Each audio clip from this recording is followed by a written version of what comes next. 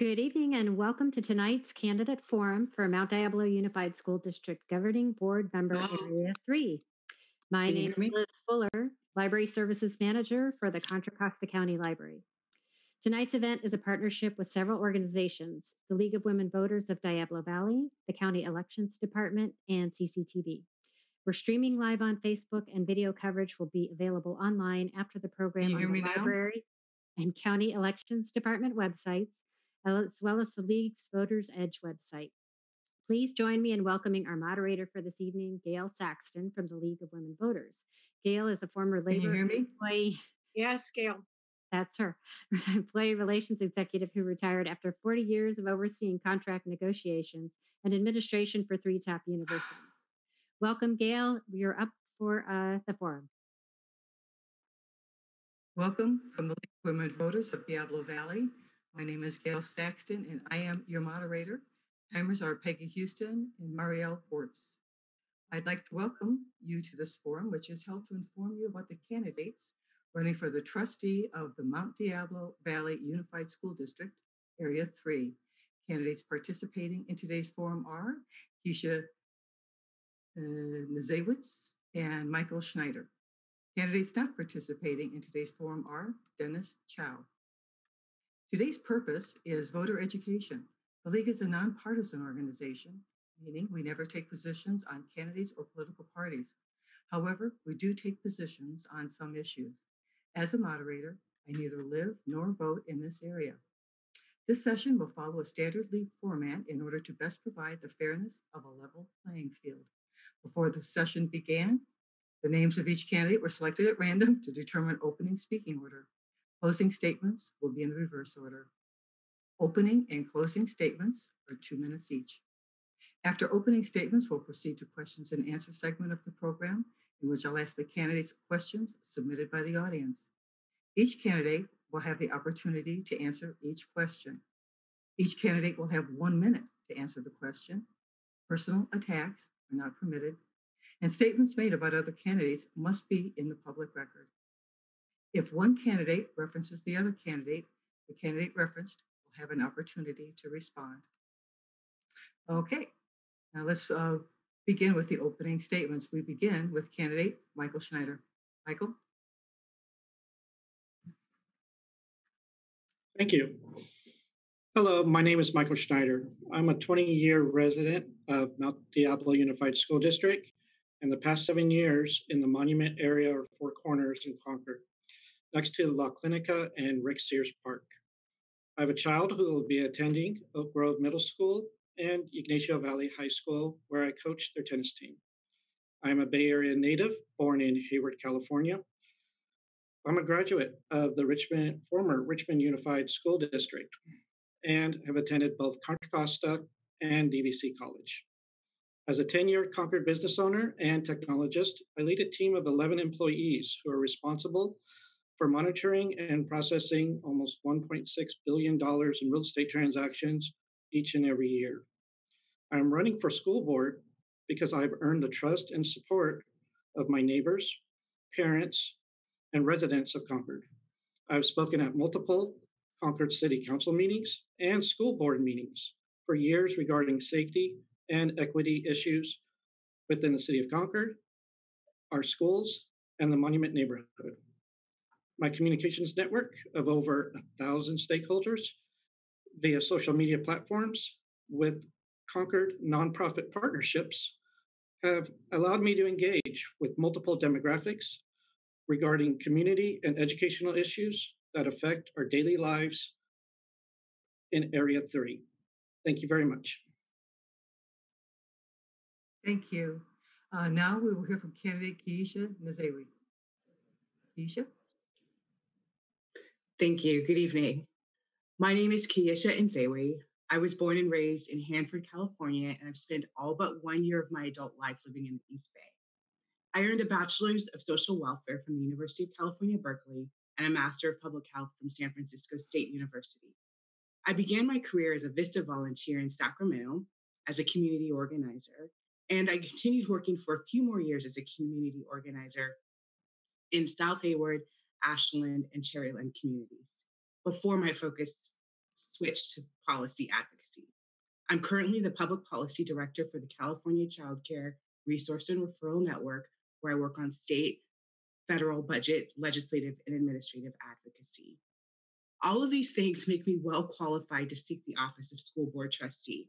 But what I think qualifies me the most is that I'm a parent with a child in the district going through the same ups and downs as most everyone else. I understand the frustrations parents go through when there's poor communication or when parents, when teachers and programs are on the chopping block each year. Like all parents, I want the best schools and the best educational experiences possible for my child. But in fact, I want that for all children. We need decision makers who aren't confined in their thinking to the way things are or the way things or the way things have always been, but are willing to identify the things that don't work, have the courage to start over and rebuild it the right way. If we do nothing, nothing changes. I'm ready to do something and I'm ready to do those hard things. Thank you. Thank you. Now we're moving on to the question and answer um, portion. Remember, you have one minute to answer each of these questions. This time we're going to start with Keisha. Um, we are going to rotate um, through these questions with each candidate being, different candidates being asked to start. So Keisha, how will you, your being on the school board as a trustee improve the efforts of the district to meet its various goals? I think that um, in, in, the short term, this district has a lot of huge challenges before it distance learning and an impending huge budget deficit. I think how the district will benefit having me on this board, having to address those tough issues, is that, as I just said, I'm willing to look outside of the box. I'm willing to think creatively.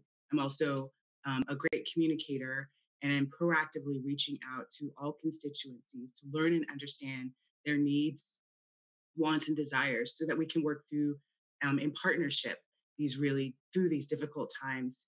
Um, I think that especially when it comes to budgeting, we have to have everything on the table, have a clear view of what what what our budget what our district spends money on and how they spend money and work together to make it as least um, harmful to children parents families staff teachers as possible and i'm, I'm able and willing to do that Thanks. thank you michael how will your being on the school board as a trustee improve the efforts of the district to meet its various goals? Thank you. From a short term perspective with the district's learning and everything, I actually was a key member of, for the real estate industry as far as bringing technology um, and bringing a, a very archaic paper process into the 21st century, both here locally and nationally. So by going ahead and start addressing some of the technology issues that we are so far behind, we can start moving forward and creating a more easily flow that would give us a better opportunity of giving options to parents as we go through not only this, but also future um, natural disasters or bad air days.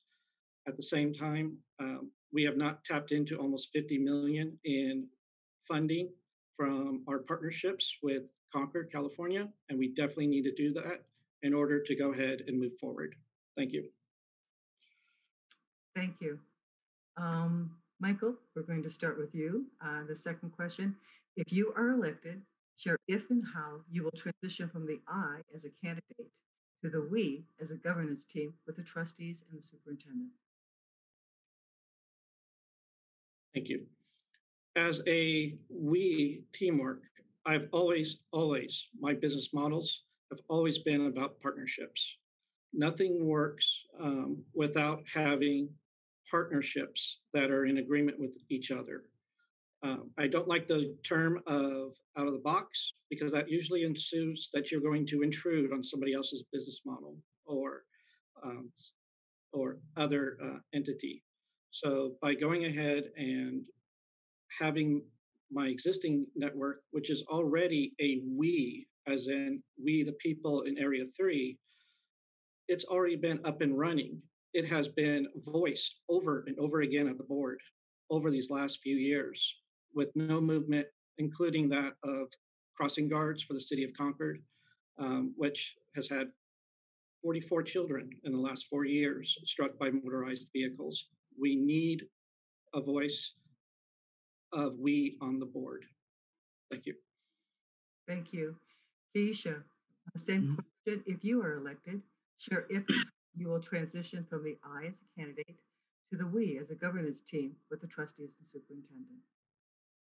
I think um, working in partnership on a governing board of five, you can't even you can't even come in there as as an I.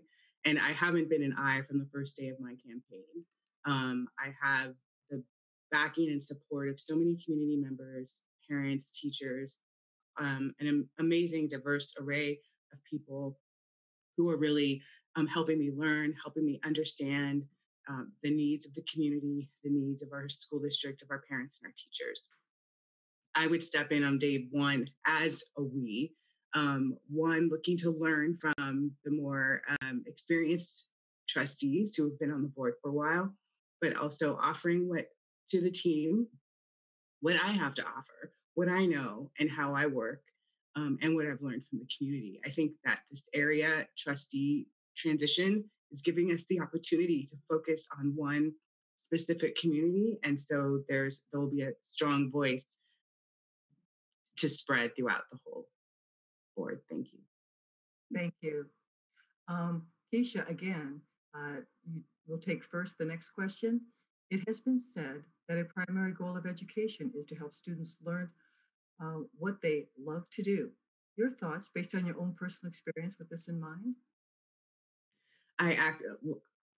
I my hope, my hope, my own hope for my my own child is that she grows up and gets to do not only what she's good at, but what the, but what she loves doing. We should all be so lucky, and I think education has the potential to allow kids to grow up to do what they love to do, but only if they're exposed to an array of things. Um, while we expose them to their ABCs and one, two, threes, we should definitely be exposing them to the arts and to athletics and to technology and to the trades because there's so much out there and they won't know what they're good at and what they enjoy unless they're exposed. And I think education is absolutely the right place to do that. And in school from K through 12, um, kids can, yeah, start their future right and, and know and understand who they are and, and what they enjoy doing. Thank you. Thank you. Uh, Michael, same question. It's been said that a primary goal of education is to help students learn what they love to do. Uh, can you please provide your thoughts based on your own personal experience with this in mind? I agree more. And this is one reason why, even at the age of 18, as I volunteered at the local boys club, tutoring disadvantaged children who were not given opportunities as they should have through a public education system. Currently, our Area 3 has suffered from lack of opportunities. It has gone on for decades, and it is uh, troubling to go ahead and have students who did not even have internet in their classrooms prior to COVID, that we don't have soap and water in our classrooms, but yet the district is spending $80,000 on artisan bread at the Boulangerie for a select few schools.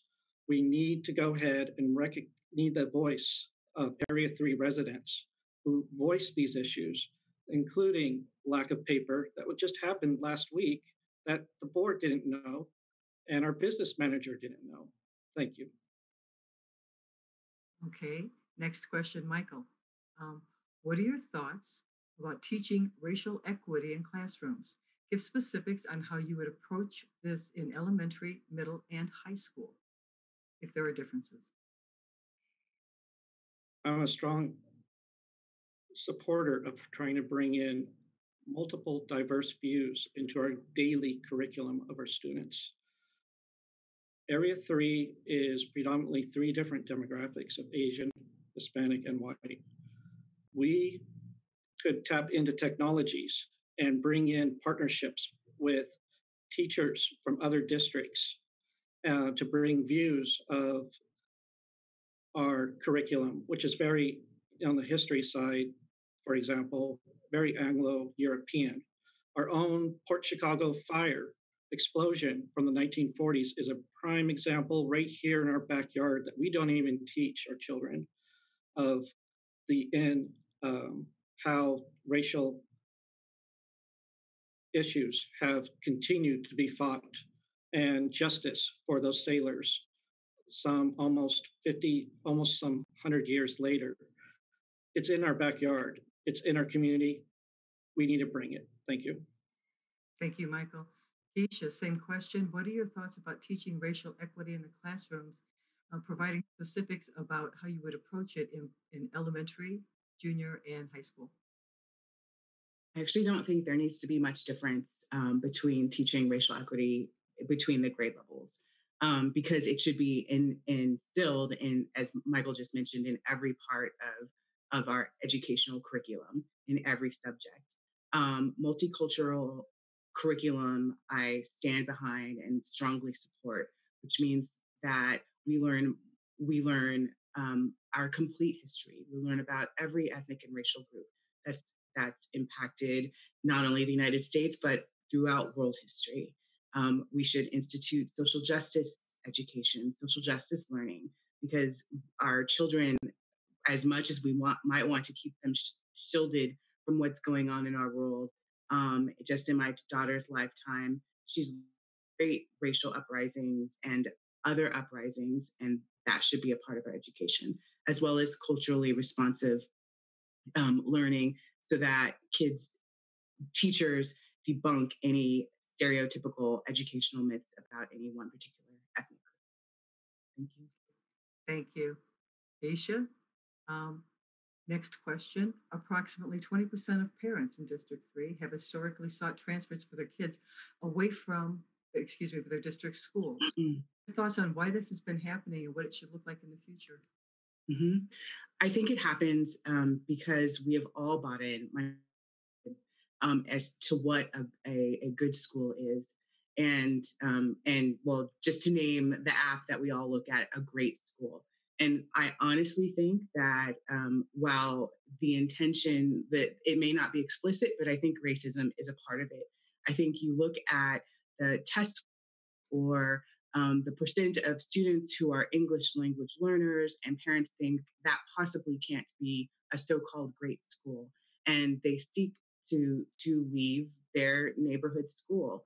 Um, I think it shouldn't be that way. I think all of our schools are great or, and have the potential for even um, bigger greatness, for lack of using, uh, for lack of a better word.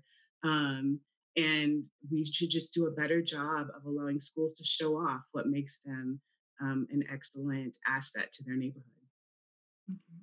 Thank you. Uh, Michael, same question. Approximately 20% of parents in the district have historically sought transfers for their kids away from the schools in the district.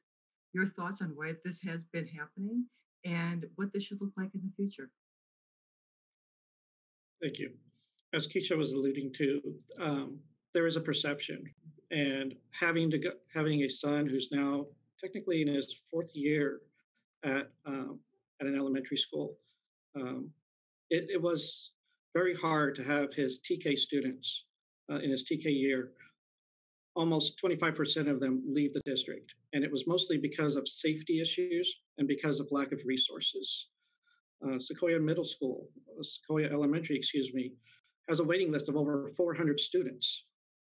This tells you that the community is thirsty for knowledge. They're thirsty for resources.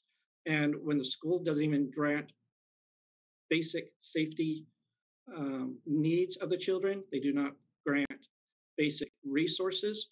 Um, it is troubling. And by getting that communication going with the district from actual parents of Area 3 on the board is a must.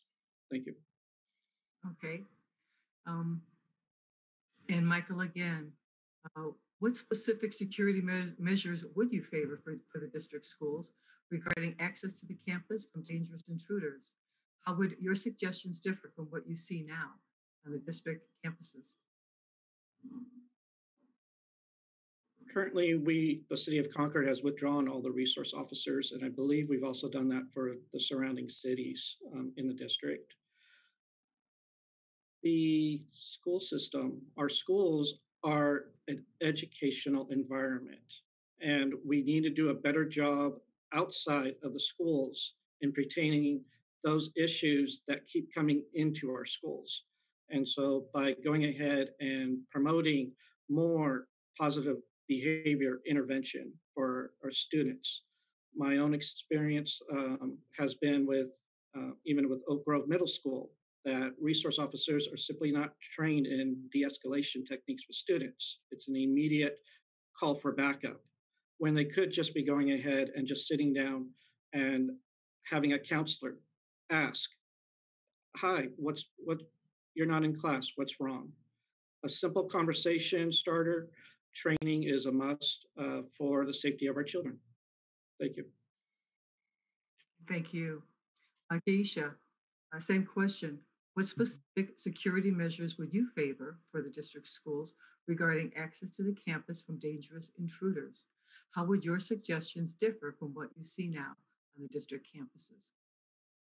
Um, I I am a, a strong supporter of police-free schools. Um, I don't think that that protects a school from dangerous intruders because even when they are on campus, um, it's one police officer versus that dangerous intruder. But in general, school safety, um, I don't th- think that school resource officers are necessary and the police shouldn't be on campus. We should invest our resources into making sure all the kids are well, all the staff are well. And that is by investing in social workers and school counselors, making sure kids and families have all that they need, have enough food, have the resources they need at home to be well and healthy um, mentally, emotionally, socially. Um, so th- th- those are the efforts that I would take to keep our schools safe. Okay, thank you very much. Um, Keisha, again, what is your experience with the adult education program in the district? What would be your thoughts towards supporting or enhancing um, what it has to offer? So I don't have much. I actually, I personally have no experience with the adult education program in our district. But what I have learned is that we have everything to be proud of in our district because our district has prioritized it. Our district has kept it in the school district, hasn't moved it to the community college.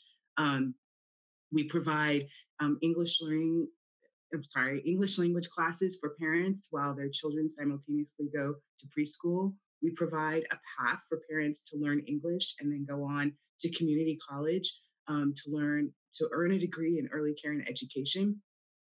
And then, just as a, an adult here, I receive um, the great catalog that shows all of the enrichment programs that are for adults, and then the health, um, the allied health programs, which can train um, folks in our community for real paying jobs and a good career. So I strongly support adult ed, and I'm really proud of what our district has achieved. Okay, thank you very much. Um, Michael, uh, what is your experience with the adult education program in the district, and what would be your thoughts towards supporting and or enhancing what they have to offer? The Adult Education um, Loma Vista Center is ripe for expansion, um, for technology, so that parents would not have to come to the school, that we could actually start looking at other ways of taking some of these teachers and these programs and bringing them into the high schools and the middle schools as separate modular uh, buildings on campus. One thing that I'm very um, excited about that's that is in the monument is that the child care for parents is right next to our elementary schools. By going ahead and having a modular where parents could drop off their children for childcare and be able to take a class without having to travel um, all across the, the city, um, let's start bringing those resources at the local schools and let's start bringing those sources exactly how we're doing today with Zoom, and we can move forward on those programs. Okay, thank you very much. Um, Michael, again, uh, beginning with this next question. Um, in the era of COVID 19, um, we are looking at alternatives for bringing children back into the classroom. Outdoor learning has been proposed as an option to classroom learning. Please provide your thoughts about this alternative and what steps might be necessary to implement it. What kind of learning was you kind of cut out a little bit there? Oh, I'm so sorry. Let me repeat. Um, outdoor learning has been proposed as an option to classroom learning. Please provide your thoughts about this alternative and what steps would be necessary to implement it. Would have to learn a little bit more about the alternative learning. If we're talking about distance learning, I do think it's an option for parents that just will not have their children return until they feel that there's a safe vaccine. Um, I do believe that we need to start bringing our K through uh, second grade students back into a classroom in small groups, similar to what Parks and Recreations have done in all three cities by having small cohorts. This way, we minimize any um, transference of any kind of, of uh, positive that may occur. And um, it's it's a as a parent of a first grader, it is very difficult to have to go ahead and go through this distance learning. Uh, we need alternatives. We need other options. This one step for all does not work. It does not work in overall education, and it certainly doesn't work when we're going to have these future bad air days and future power outages at our schools. Thank you. Okay. Um, Keisha, uh, same question. Uh, in the area of COVID uh, 19, uh, we are looking at uh, how to bring children back to school uh, for either distance learning or in class. Outdoor learning has been proposed as an option to classroom learning. Please provide your thoughts about this alternative and and what steps would be necessary to implement it if you think it's a good idea. I think I, I know of um, schools across the country who have implemented outdoor learning. I think that the problem here is a month ago or more than a month ago, our state had, you know, caught on fire and the air quality is awful. But even before then, I feel like just only because of our geography and where we live, that would be difficult. Um, we've had extreme temperatures this month, last month, and I'm sure into October. Um, we have we would have extreme temperatures into the winter. I can't imagine having children learning and paying attention in 100 degree heat or 30 degree um, coldness. Um, so I think it's a good idea if we lived in a more mild climate. I don't think it's a good idea because of where we live and because we're on fire. Thank you. Mm. Um, Aisha, um, what are your views on how students who are testing below grade level uh, can most easily catch up? What are the responsibilities of the schools to monitor this and to publicly publicly report on its progress? Mm-hmm. Um, that's a familiar question. I think that um, for for students who test below grade level, I think one, I'm assuming those testing are based on standardized tests, and that we, I personally um, believe that those tests are racist in roots and don't actually measure what a child knows. However, if it's based on a teacher's own knowledge of that student's um, um, performance in regular education activities, I think that it's the responsibility of the teacher to work with the family to figure out, to help figure out what could be the challenges, what's contributing to the challenges of that child learning. It may not be that they're not getting it, it may be that they're hungry, it may be that something's going on at home that makes um, worrying about school a real challenge. And so I think it should be done in partnership with the family to figure out how to catch that child back up. Um, reporting it, um, I guess it shows up on the dashboard. I'm sorry. Thank you. Sorry. Thank you. Okay. Michael, same question. Um, what are your views on how students who are testing below grade level can most easily catch up? Additionally, what are the responsibilities of the schools to monitor this and to publicly report on its progress? I believe that when it comes to children that are struggling uh, with education, that it is 100% the district's responsibility. We are a district of two different models. In one model, if a student is having problems with reading or learning, there are teacher aides, there are volunteers, there are paid tutors that are brought in to go ahead and uh, through PTA and PVC funds um, in amounts of hundreds of thousands up to $300,000 at an elementary school. Meanwhile, our Area 3 schools, a child is not able to, those resources are not available. This is why I have been pushing for partnerships in the city of Concord to get more resources into the classroom. Um, we have parents that are working two and three jobs. They can't volunteer and come in and be those tutors and teacher aides. The district needs to step up and provide um, these resources for our children. Thank you. Okay, uh, thank you. Michael, you have uh, first shot at the next question also.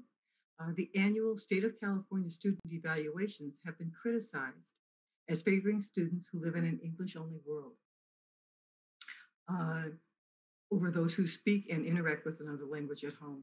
How would you respond to this point of view? I'm a Bay Area native. Most everybody speaks two languages, and a majority of people, English is not the primary language. Our own uh, Silicon Valley has so many uh, HS1 visas uh, that are people from all over the world that English was not their second language. And so I, I really believe in um, bilingual, uh, that we start this early, alluding to the previous, previous question of why students are leaving the um, monument area. It's because they want a dual language. They want to be able to get into an IB program. They want that baccalaureate where they have the bilingual, that they can go ahead and say, yes, I can go ahead and speak two languages.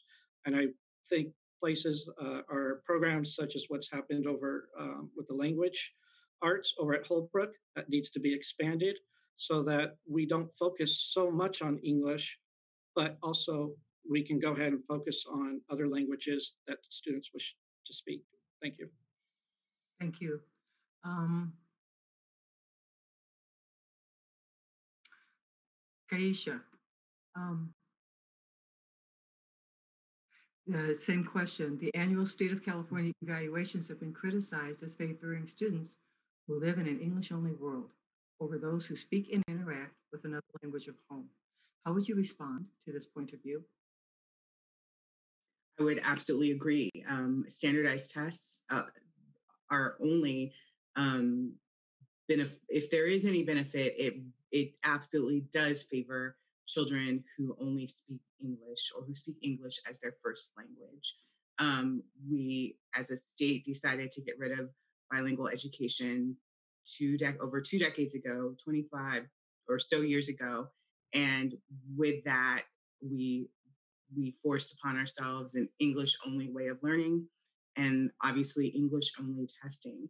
Therefore, um, the true for whatever those standardized tests are supposed to measure, they're really only measuring how well a child um, who speaks English can do on these tests, um, not allowing a child who, for whom English is a language that they are learning and for whom their world is not primarily English speaking.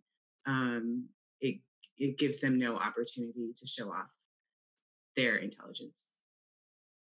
Thank you. Um, Keisha, you're up first on the next question. Uh, many students in the district are qualified as English learners when they enter the district. What's your understanding of the goals of this program and its past record of achieving its effectiveness? And its past record of achieving its effectiveness. Um, so, um, our English learner program. Like I said, we do not have bilingual education in our district or in California. It means that a child has to learn English and learn um, their basic subjects only in English. And so, because we've done that, it's it's and we've really um, what's the word not supported dual language learning until recently. That it's a very popular thing now. I mean, in, for the right reasons that we're uplifting a child's home language. We've really done a, lot, a few generations of children harm um, in in in their own education because they didn't get to learn in their home language. So um, I know our district does the best that it can, the best that it can given the constraints that we have with it. Thank you. Sorry. Okay, thank you. Um, Michael, same question. The um, students are, many students in, in the district are qualified as English learners when they enter the district. What is your understanding of the goals of this program and its past record of achieving its effectiveness? This is one um, aspect that the district seems to have done some improvements over the years where uh, English learning, learning is to get the children up to speed um, at a certain level that they become English proficient. We are an English speaking society, and it is important that they get there uh, as early as possible before they're bombarded with math and social science and um, and science in general. Um, it, it is a little odd that with our uh, demographics that um, we don't have a STEAM program in Spanish. I do know that there's one in Santa Clara County, and I've uh, talked to many people about this in the community that this could be an alternative. That we um, continue with our DELAC and English learning programs to get our children up to an English proficiency stat. Um, and if it's too difficult, then we do need to bring back um, the bilateral and um, kind of just start going ahead and having our curriculum in that format. Thank you. Okay. Uh, this next question, which uh, will begin with you, Michael, uh, is follow up. At what grade do you believe students who have been classified as English learners should become officially English proficient and why?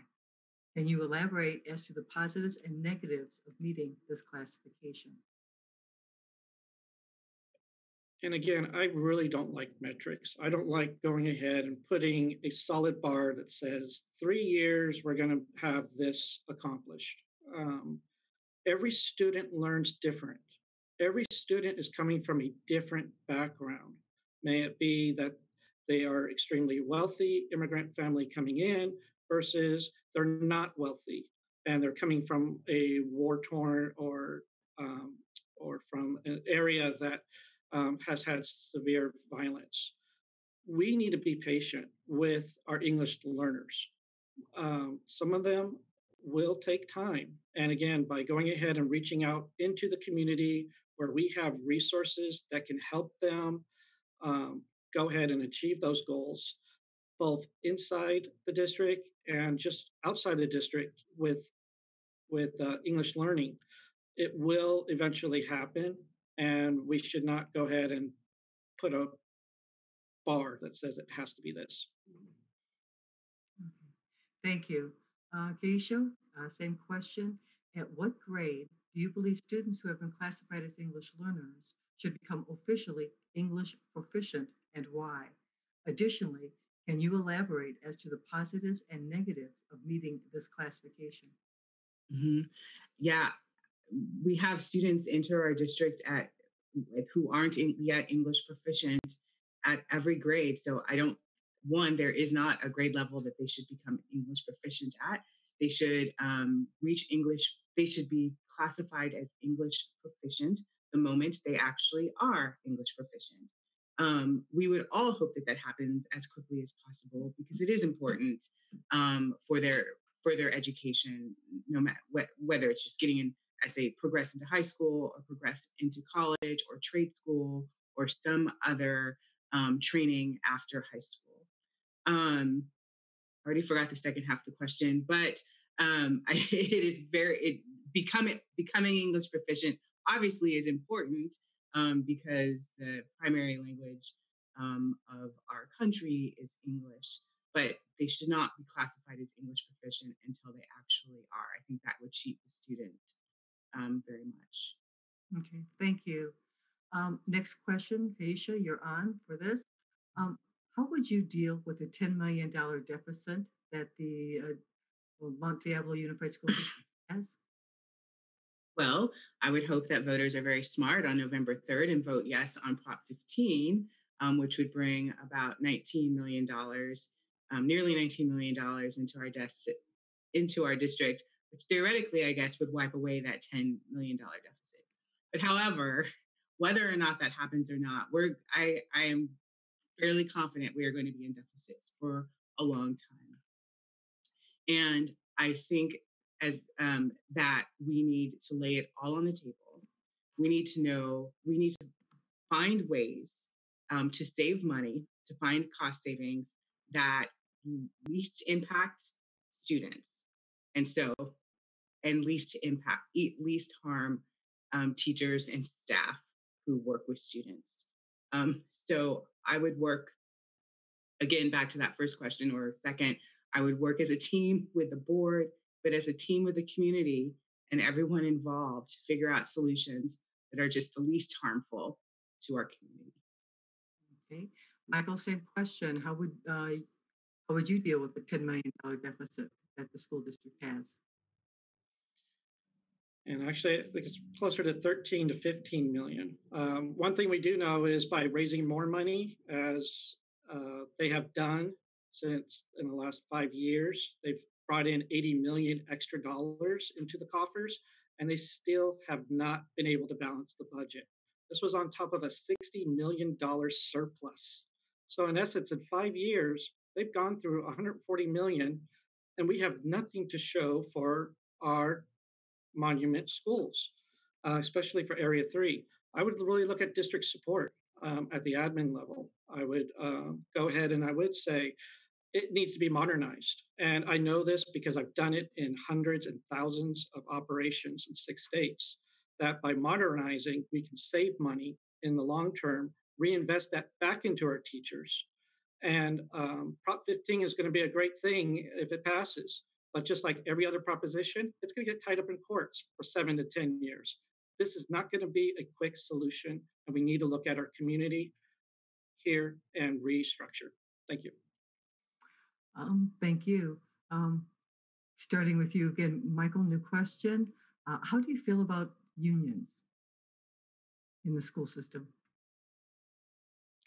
Unions, um, they, they have their purpose, and I really support their their cause of protecting their employees. And I and I really, as we keep talking about COVID, we keep mentioning students, but teachers are right there too. And I really believe in that.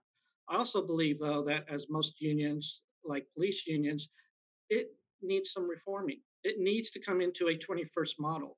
It needs to start being more of a um, uh, accountable uh, type system where when we do have things that go sideways within the faculty, um, that we can offer them training and especially in diversity training and tolerance uh, to let them know that hey this is this is not right. Um, so again having uh, unions has its purpose and um, i definitely know that teachers do not get paid enough and but at the same time i also know that a lot of the problems that are happening with parents transferring it's because of tenure, and we got to get rid of that. Thank you. Um, Keisha, same question. Um, how do you feel about unions' role in the school district? I fully support the um, unions in the school district, and it's more than teachers. Um, almost every role in a school district is represented um, by a union, and when they're able to have that representation, that that will be able to come together as a collective they're able to fight for what's right for themselves and for what's right for students and what's right for the community. Um, so I fully and wholeheartedly um, support unions in the school and unions everywhere, unions outside of the school. It's they they are why we should be thankful for so many rights at those of us who are workers um, that we have in the workplace, whether we're unionized or not. Thank you. Um, next question, Keisha, you're first. How will your being on the school board as a trustee improve the efforts of the district to meet its various goals?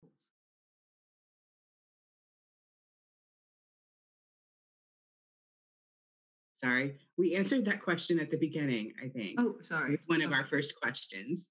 All right, mm. thank you. Um, I'm getting new questions that are coming in from the audience. Yeah. I just didn't hear it. Here, let's try this next one. Um, what experience do you have with students? Uh, no. Um, what do you think the school district uh, should be doing with, with the special education program in the district? How do you think it's functioning? What could they do to make it better? I'm really pleased that I had the opportunity a couple weeks ago to speak to members, to speak to parents um, of of children with special needs. And what I was pleased to learn, while we're not perfect, um, our district, sorry, our district does pretty well in this area compared to other districts. Now, that's in comparison, so that doesn't mean that we're meeting everyone's needs um, already, because I know that we're not, and I know that's that, yeah, I know that we're not.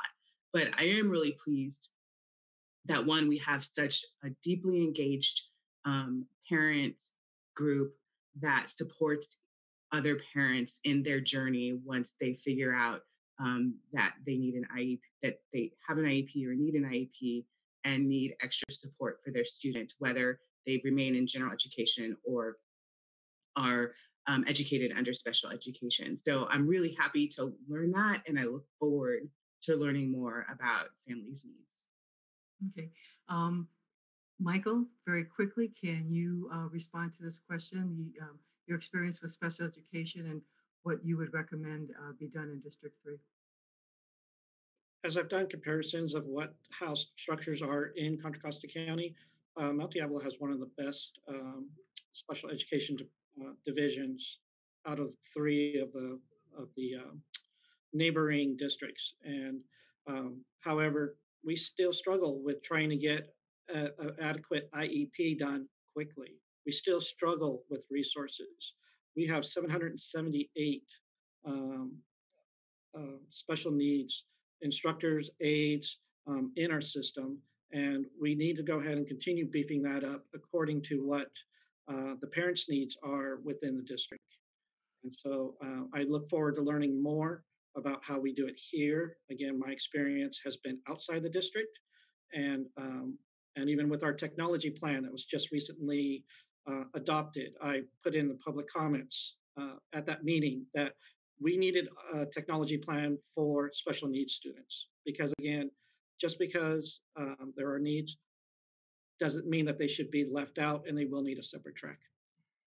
Okay, thank you.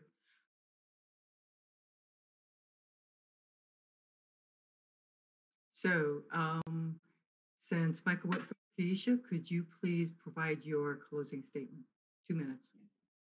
Thank you. Um, a, a, lot of folks have heard what spurred me to run for office, but in short, my daughter had a tough time over the last couple of years with racism at school. I had a tough time with the way it was handled. And now we find ourselves at this moment of time with so much momentum, we can actually achieve change. What most don't know is that I never imagined before June of this year that I'd be running for office in this very moment at all. Um, I've always known that I would run someday because I've always been an advocate for all things that are right and all things that are just. So, since August, I've had the privilege of speaking with parents, with teachers, staff, and community leaders, listening and learning about the needs and the wants of the community that will hopefully elect me.